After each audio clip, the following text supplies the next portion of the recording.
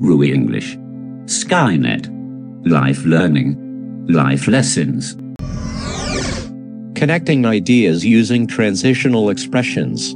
Join the following ideas using transitional expressions. Record your answers, and then evaluate your responses. You read, We had to hand our essays on time.